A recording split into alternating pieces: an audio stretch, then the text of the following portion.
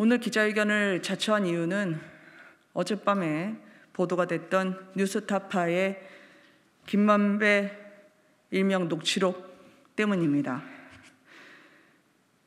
어, 어제 뉴스타파를 통해서 김만배 씨가 윤석열은 어, 감옥을 갈 것이다 비방성 글을 쓴 바 있는 지인과 나눈 녹취록이라고 공개를 했습니다. 이 녹취 파일에는 지난 2011년 부산 저축은행 수사 당시 윤석열 다시 당시의 대검 중수 이과장 그리고 박영수 변호사 통해서 사건을 해결했다는 김만배 씨의 말이 들어 있습니다. 김만배 씨가 이 녹취록에서는 조영 씨 검찰 조사에서 윤석열 후보가 당시 중수 이과장이었죠. 네가 조우영이냐 이러면서 라고 말한 부분이 적시되어 있습니다. 그러니까 그 녹취록이 녹음된 그 당시는 김만배 씨가 화천대유로 막대한 수익을 거뒀다는 보도가 나올 시점이었습니다. 국민들은 철저히 수사하라 여론이 들끓었었죠. 김만배 씨가 그런데 자신 편과 끼리끼리 만나 변명성으로 늘어놓은 대화였는데 그 법의 심판을 피하려는 김만배와 지인의 녹취록으로 하루 종일 시끄러웠습니다. 민주당 공당은 오늘 대표부터 원내대표까지 총동원돼서 일명 윤석열 커피, 그러니까 윤석열 후보가 커피를 조우영 씨에게 타주면서 대장동 사건을 막은 것처럼 밝혔습니다. 그런데 이 모두 이재명 후보가 대장동 몸통이라는 의혹을 가리기 위한 조치라고 저는 해석합니다. 왜냐하면 이재명 후보는 당시에 이 모든 화천대유 천화동인의 돈벼락이 가능하게 될 인허가를 승인한 당사자이며 자신이 직접 대장동을 설계했다고 고백을 했었기 때문입니다. 이 많은 거짓말, 수두룩한 허위의 더미를 해치고 저는 진실을 밝힐 때가 된 것 같습니다. 오늘 새벽에 한 제보가 날아들었습니다. 이 제보를 확인하기 위해서 잠시 시간이 걸렸습니다. 그렇지만 그 근거를 입수해서 공개합니다. 많은 국민들이 놀랬던 이유는 이거였습니다. 김만배 씨가 이 녹취록에서 윤석열이가 네가 조우영이야 이러면서 라고 말한 대목입니다.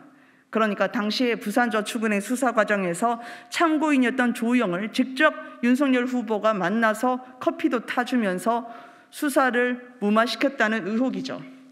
제가 오늘 발견한 제보는 조우영 씨가 직접 검찰에 나와 윤석열 중수과정 만난 적 없다라고 밝힌 대목입니다. 이는 2021년 11월 24일 검찰 진술조서에서 확인하실 수 있습니다. 이 진술 조서를 제가 입수하고 조금 전까지 확인 작업을 거쳤습니다. 검사가 묻습니다.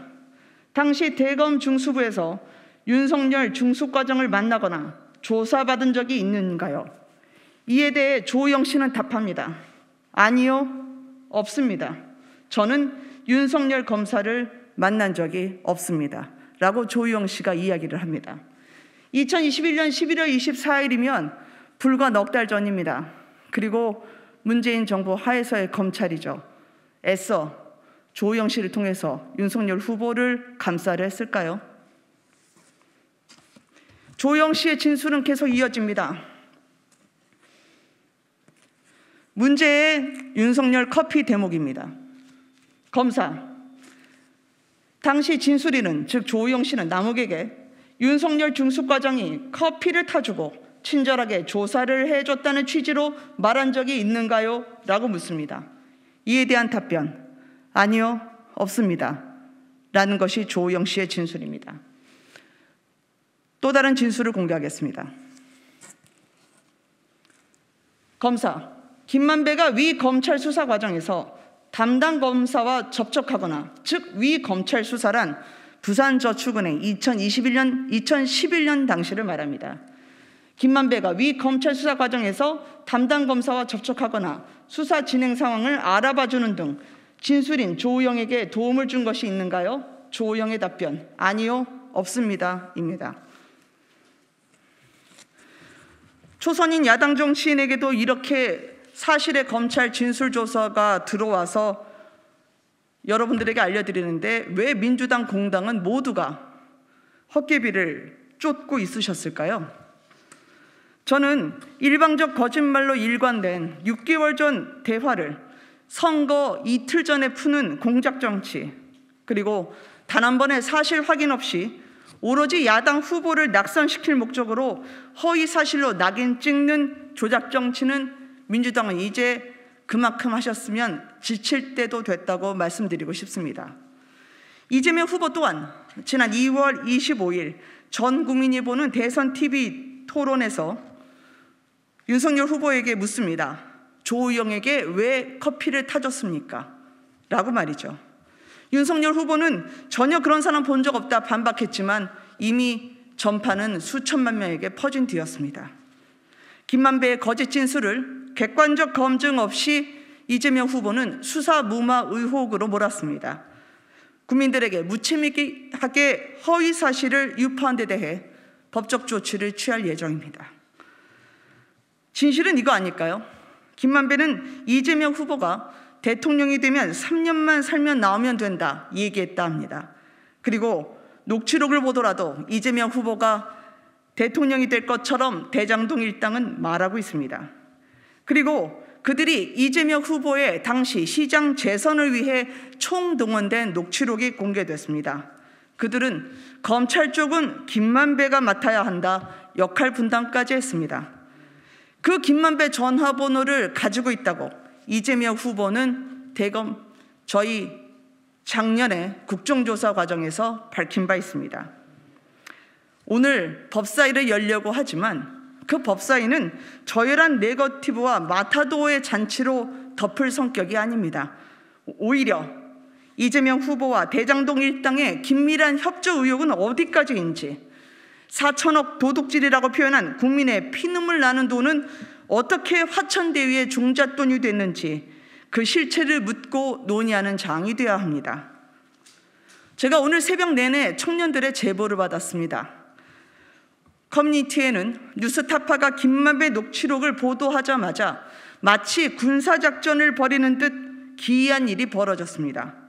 청년들도 전혀 누르지 않았던 추천이 눌려졌고 연령, 성별 정확하게 동수로 맞춘 짜맞춘 듯한 조직적 댓글 조작 의혹이 발견됐습니다. 청년들은 드루킹이 시즌2로 살아 돌아온 것이냐며 경악하고 있습니다. 침해당한 권리, 그리고 왜곡된 자유에 억울하고 부당함을 호소하고 있습니다. 저희 당 차원에서 실태를 파악해서 곧 법적 조치를 취할 예정입니다. 지난 5년 민주당 정권은 국민을 갈라치고 거짓과 위선으로 고통을 줬습니다. 그런데 이에 대한 반성을 고사하고 오늘까지도 물타기와 모렴치한 남 탓으로 일관하고 있습니다. 저는 어둠은 빛을 누를 수 없다고 생각합니다. 거짓이 진실을 이길 수 없는 것과 같은 이치입니다. 이번 대선은 저는 진실과 거짓 그리고 정의와 위선의 대결이라고 생각합니다. 오늘 이 기자회견을 통해서 국민들께서 공정과 정의에 힘을 실어 주실 것을 요청드립니다. 국민 여러분들의 손으로 이제 숨 쉴 수 있는 새 시대의 막을 열어 주십시오. 투표해야 이깁니다. 감사합니다.